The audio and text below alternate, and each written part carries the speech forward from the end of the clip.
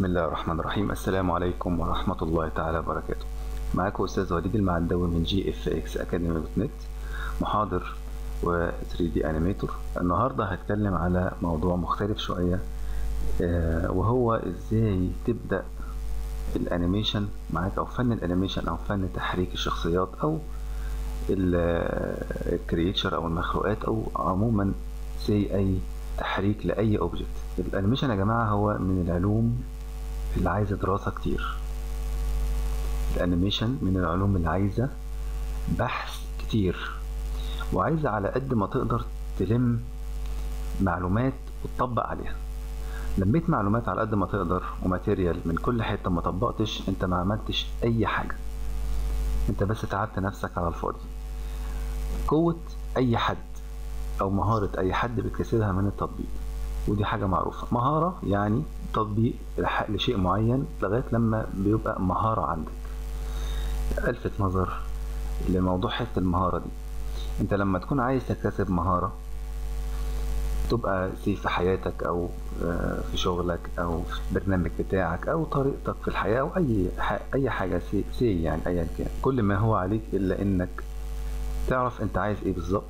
ده رقم واحد. رقم اتنين تجمع معلومات عنها كتير. رقم تلاتة تطبق وتواظب على التطبيق. طبقت وظبطت على التطبيق. مع الخطوتين اللي قبل كده هتبدأ تبقى مهارة عندك. يعني إيه مهارة؟ مهارة يعني ال skills بتاعتك أو مهاراتك أنت الشخصية بدأت ترتفع. جودة عملك بدأ يرتفع بالتطبيق الكتير غير كده وكده إن أنت لما بتعمل تطبيقات محتاج حد يكون متخصص وأكد على دي يكون متخصص إنه ينقد عملك. ليه؟ لو أنت رفعت تطبيقك على أي group على الفيسبوك أو اليوتيوب أو أي آه، موقع social media ممكن ناس تقول ما تديكش feedback خالص ممكن ناس آه، تديك فيدباك والفيدباك أي كلام مش ده اللي أنت عايزه. وأنت تستغرب في الأول وفي الآخر طب إزاي هو في إيه؟ هو معقول العمل بتاعي ما يبقاش آه، بالجودة مثلا إن حد ينقده أو أي حاجة أقول لك لأ أنت تركت باب مش مظبوط. الباب المظبوط اللي أنت المفروض آه، تترك عليه إنك تعمل تطبيقات وعلى قد ما بتقدر تعمل replay replay لشغلك. يعني أنا مثلا شغال على ال Max ببدأ نعمل شغل replay وأشوف شغلي عامل إزاي وأنقد شغلي. أنا بعين الناقد لحد ما يأس من نقد شغلي لغاية لما أنا أنا مش شايف حاجة خلاص بقى في شغلي بعد كده أقوى من كده. okay؟ آه، بعد كده بتبدأ بقى تشوف الناس المتخصصة فعلا في في المجال بتاعك في أنا بتكلم عن انيميشن أو في تحريك الشخصيات أو التحريك عموما يعني. تبدأ تشوف بقى ناس آه، يكونوا آه، فعلا متخصصين ويبدأوا ينقدوا الشغل بتاعك وتاخد بقى النقد الصح بتاعهم وبتبدأ تظبط عليه شغلك. وبتبدأ تعيد الشغل أو تظبط الشغل مش تعيده يعني تظبط النقط الضعف اللي فيه وبتبدأ تعرضه عليهم مرة تانية ومرة تالتة لحد ما يبقى excellent مفيهوش أي عيوب. okay؟ بكده بتقدر أنت بعد كده تعمل ال showreel بتاعك أو تعمل تعرض عملك آه، بعد كده وتطور مستواك. هو ده الطريقة يا جماعة ال- الطريقة الصح اللي تقدر تستفيد منها. غير كده ما يعني ما ما فيش يعني ما أعتقدش إن في أي حاجة مجدية فعلا غير الممارسة والنقد المستمر. أنا فاتح مثلا ملف فأنا المفروض أنت لو لما تعمل مقطع تمام؟ آه، بتبدأ أنت على طول دايما ب- بتشوف إيه اللي غلط في المقطع بتاعك وإيه اللي فيه وبعدين بتبدأ على طول تعمل replay replay ورا بعض لغاية لما تشوف ال- النقد التمام. وزي ما إحنا قلنا قبل كده مش هنتكلم كتير. حابب بقى نتكلم في موضوع النهاردة. أنا كنت آه، أطلقت ورشة من فترة ورشة animation كبيرة الدراسة فيها أربع شهور مجانية تماما. في ناس بتقول انت مجنون مفيش حد بيعمل كده. أقول لهم والله يعني خلينا مجانين عشان بس إيه الناس حيلها شوية في المجال ده ونبدأ آه نساعد الناس شوية. هنشتغل على أول حاجة في ال animation ألف ب animation. وده يمكن المحاضرة دي مستنيها ناس كتير أو اللي أنا هقوله دلوقتي مستنيه ناس كتير.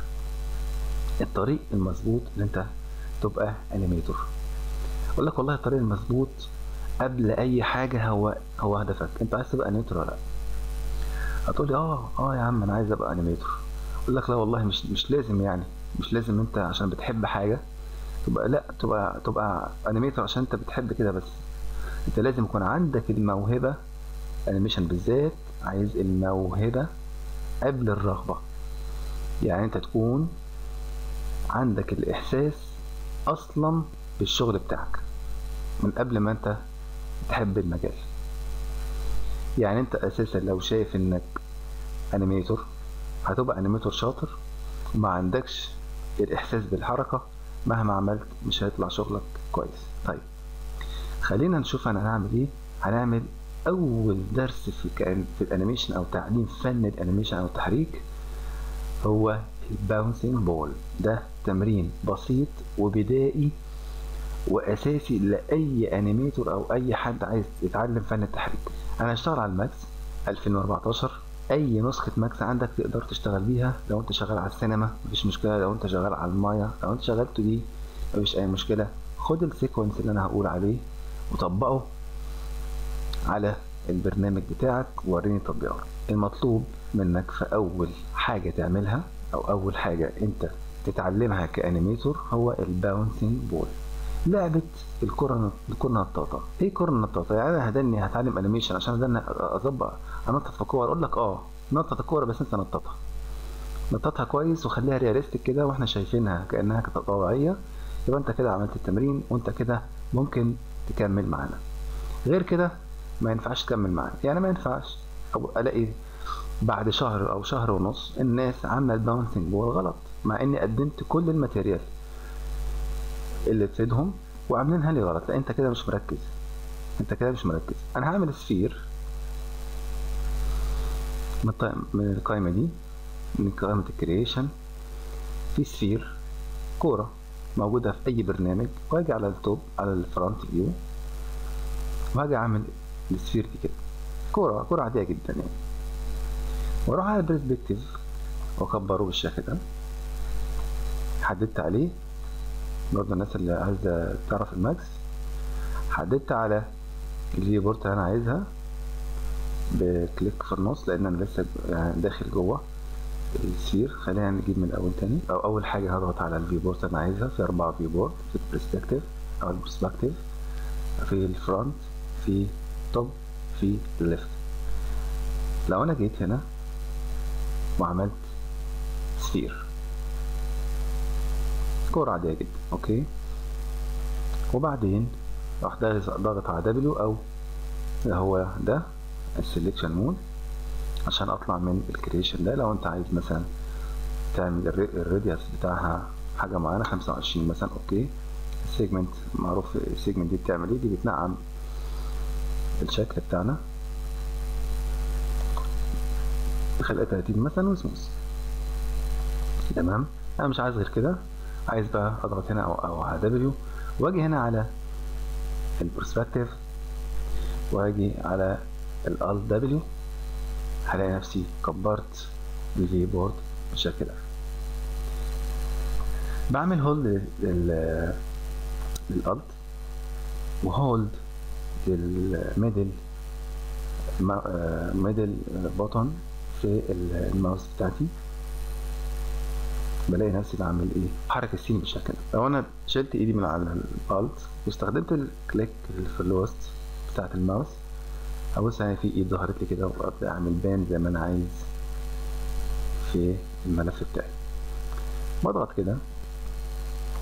وعايز بقى أبدأ أعمل أول تمرين في فن ال animation وال bouncing ball no delay يعني على طول بلاقي الكرة بتتنطط قدامي بدون توقف بدون توقف آه على ال slide bar أو بالحركة بتاعتي. أنا عايز أخلي الشكل ده واقعي شوية باجي على ال front واطلع دي فوق شوية. هشتغل على ال front okay عشان ده اللي هيديني يعني آه زي رؤية كده كويسة. باجي هنا مثلا أه بعمل حاجة زي line كده. أو آه، box حاجة بسيطة كده. عشان تبدأ الكورة. تتنطط عليها. باجي هنا على ال front وهبدأ بقى أشتغل على ال bouncing ball زي ما أنا عايز. okay. باجي على ال slide ال time slider بمسك كده وبتحرك زي ما أنا عايز زي أي برنامج 3D موجود فيه time slider وزي أي برنامج 2D فيه frames دي عبارة عن frames تبدأ تتحرك جوه. عشان أشتغل وأعمل key frame ات وأبدأ أشتغل بعمل هنا في حاجة اسمها هنا auto key بضغط عليها عشان أنا بيديني إمكانية إن أنا لو حركت اوتوماتيك في أي frame بي create لي على طول key frame أهو.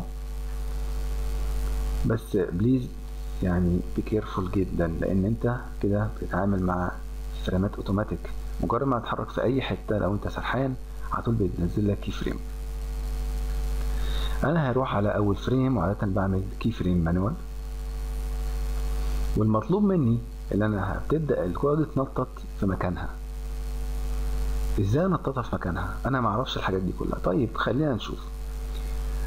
في الدرس الثاني من ال Max animation for animators أنا كنت شرحت ال time configuration هخلي ال end time مثلا 80 أو 70 واقول okay يبقى أنا عندي 70 frame مبدئيا أنا عايز الكرة دي هتنزل تضرب في الأرض وتطلع مكانها تاني. مكانها مش هتاخد حاجة تدريجية لا أنا عايز ال basic اللي هو ال bouncing model ال basic في مكانها. يعني أنا عايز البداية تبقى فوق. رقم اتنين وأنت بتحدد المشهد بتاعك وأنت بتخطط له. تحت رقم تلاتة فوق برضو. يبقى فوق رقم واحد وتلاتة زي بعض. أنا ممكن آخد ال frame الأخير ده وأعمل له key frame كده بالشكل ده يبقى أنا واحد وتلاتة زي بعض بالظبط. هيجي في النص وأروح جاي أنزلها تحت. لحد ما تلمس الأرض بالشكل ده. يبقى أنا عندي بعد كده نوع الكورة اللي أنت هتخيل إن نوع الكورة دي كورة مطاطية مثلا. okay؟ وبتنط في مكانها. يبقى أنا عايز أحس بالوزن أنا شايف في ناس كتير عملت لي كده. الكرة بتتحرك تنزل وبتطلع. انت كده عملت ما عملتش animation انت كده يعني اي حد ممكن يعمل كده إيه المشكلة يعني؟ تطلع فوق وتنزل تحت أو تروح من حتة لحتة دي مفيهاش مشكلة اي حد ممكن يعمل. انما اللي أنا عايز احس بال time بتاعها احس بال spacing بتاعها احس بوزنها okay؟ فأنا بكل بساطة في حاجة اسمها graph editor في أي برنامج 3D بجيب ال graph editor من هنا graph editor وفي حاجة اسمها curve editor هو ده اللي أنا عايزه. تمام؟ هاجي هختار ال coordinate نظام ال coordinate بتاعي الإحداثيات ال local. ال local ده يعني بيقيس لك إحداثيات ال object بتاعك نفسه بالعالم الخارجي okay؟ فخلي لي ال Z فوق تمام طبعا مفيش أي دوران فأنا بستخدم ال position. يعني أنا ال position يعني إيه؟ اللي أنا حركت object أو عنصر من مكان لمكان. ده position من position ل position وكنا خدنا في الفيديو التاني أو تقريبا في في السلسلة بتاعتنا في الورشة animation ال key positions ده اللي أنا عملته دلوقتي. عملت أول حاجة sequence في sequence الشغل بتاعي أنا عملت ال key positions بتاعتي. عملت رقم واحد رقم ثلاثة رقم اتنين. يبقى أنا كده حطيت ال key frames كل واحد مكانه بناء على تخطيطي للمشهد ده اللي أنا عملته. خططت المشهد وحطيت محور Z فوق أنا هاجي على ال position Z أبص ألاقيه بالشكل ده. في أي برنامج 3D هتلاقي ال curve عندك بالشكل ده. في ال graph editor الموضوع عندي معكوس فأنا هخلي النقطتين دول النقطتين دول كده تحت.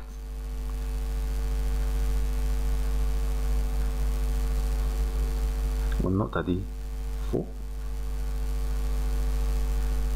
بحيث إن لو جيت عملت عملت كده هي هي نفس الحركة بس عشان أقدر أسيطر على ال graph من هنا تعال نشوف.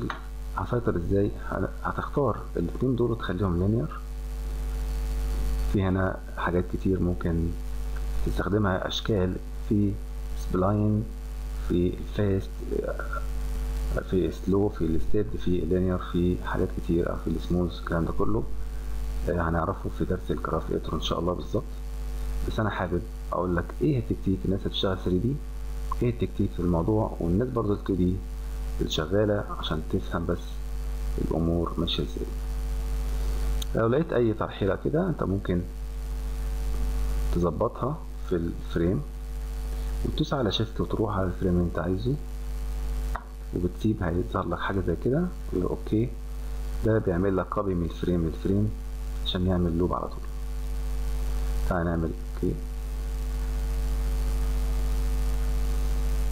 جميل. يبقى أنا عايز بعد الخطوة دي آخد كل ده وهتلاقي هنا في ال time slider حاجة اسمها configure. هتظهر ال selection range. هيظهر لك ال time ده أو ال slider ده هتروح جاي عامل كده. واقول له مثلا أنا هجيبها هجيبها في النص. هخلي بس ال time لحد 40 وهظبط هنا ال time ل 40 عشان يفرد لي على ال time كله. هنا بدأت الحركة تظهر شوية. تعال نشوف ممكن نعمل إيه.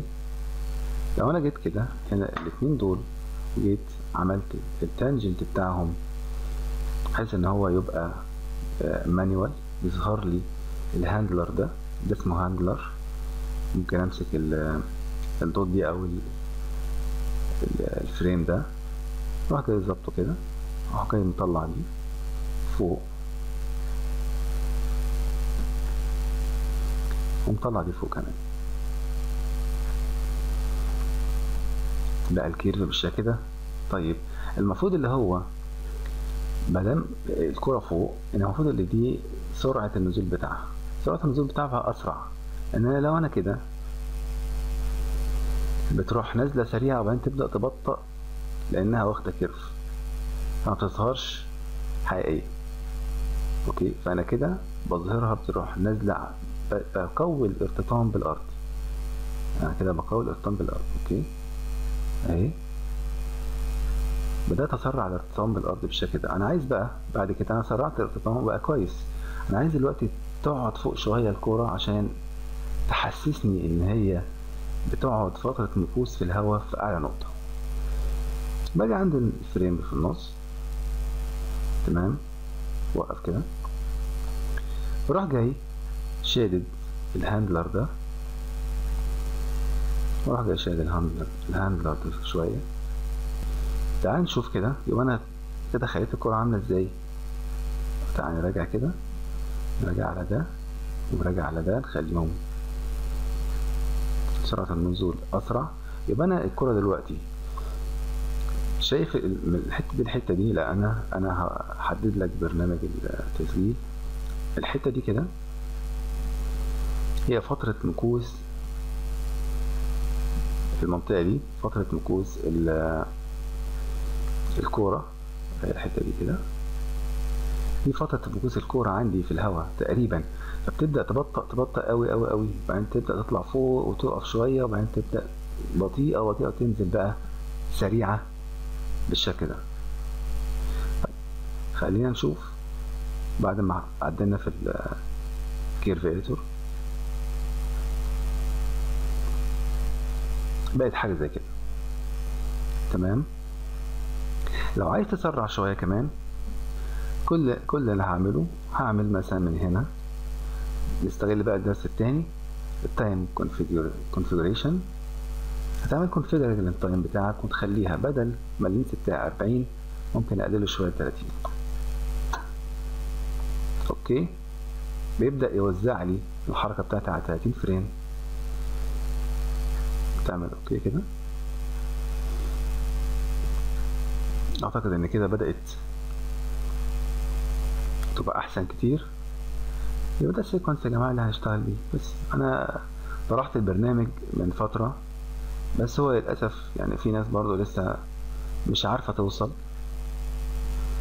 والمنطقة دي كده. هي الموضوع كله. إن أنا أبطأ تسارع الكرة فوق وأسرع تسارع تسارع الكرة تحت في المنطقة دي. بس كده okay. آه بعد كده بعد ما بظبط آه ال curve editor بتاعي ممكن أظبط ال time بتاعي بحيث إن أنا أخليها real realistic بالشكل ده كده. خلي الكرة دي نشهيصها شوية خليها بيضة. وخلينا نروح عليها عاملين كده.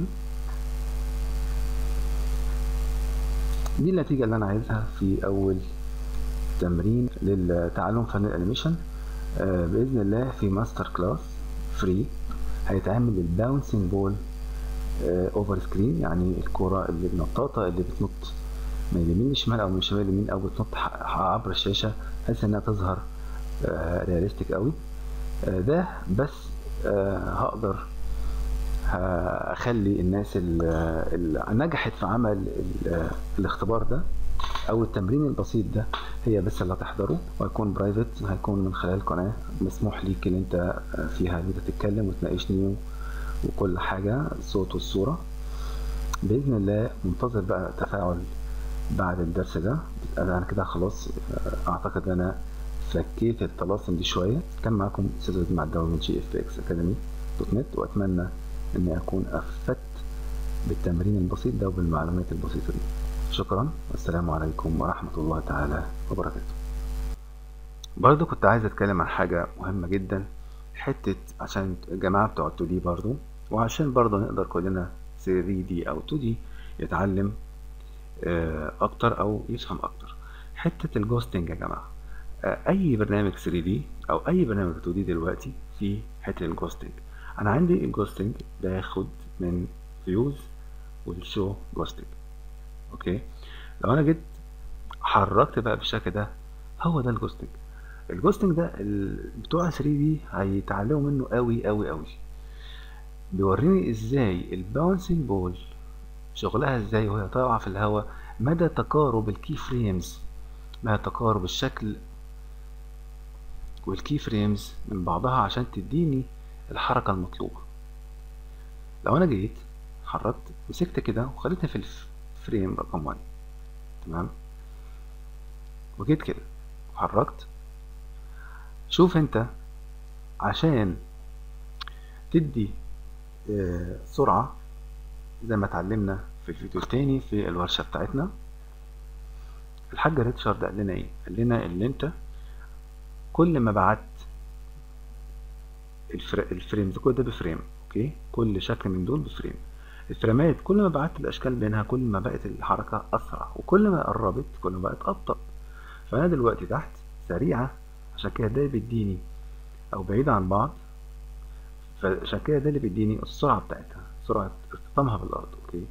بطلع فوق كل ما طلعت فوق كل ما بصيت لقيت الله لقيت إن الكورة عمالة بتقل مسافتها بتقل عن بعضها.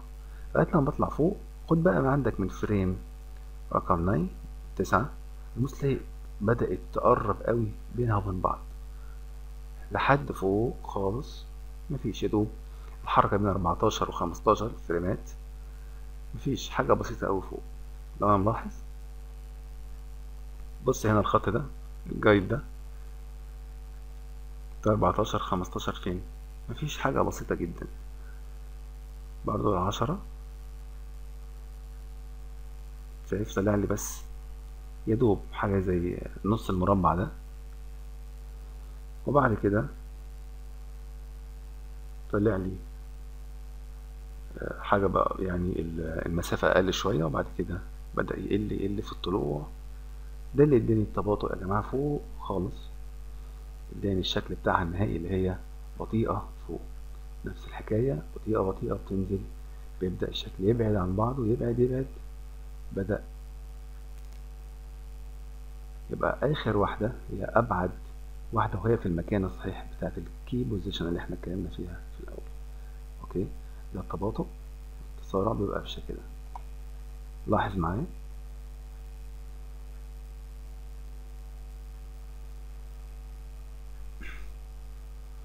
طبعا ناهيك بقى إن أنت تعمل أنواع كرات تانية و bouncing ball تانية المهم.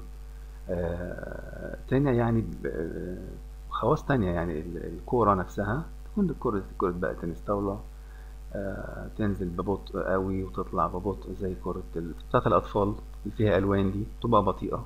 لو لما تنزل تلاقيها نازلة بطيئة وطالعة بطيئة. تقدر أنت بقى تعمل زي ما أنت عايز. المهم يكون في تسارع قبل الأرض وتباطؤ فوق في أعلى نقطة. هي دي ال bouncing ball اللي هي no delay بالشكل ده. دي المفاتيح بتاعته وأتمنى إني أكون وضحت. السلام عليكم.